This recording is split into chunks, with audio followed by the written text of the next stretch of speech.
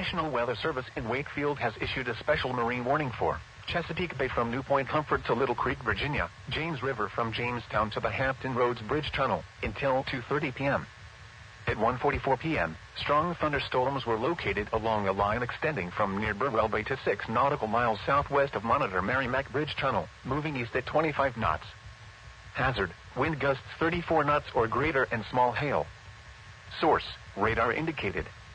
Impact, small craft could be damaged and briefly higher winds and suddenly higher waves.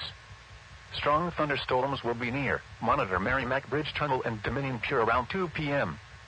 James River Bridge around 2.05 p.m. Sewell's Point around 2.10 p.m. Willoughby Bay and Hampton Roads Bridge Tunnel around 2.15 p.m. Thimble Shoals, Hampton River Inlet, Hampton Flats and Poquoson around 2.20 p.m.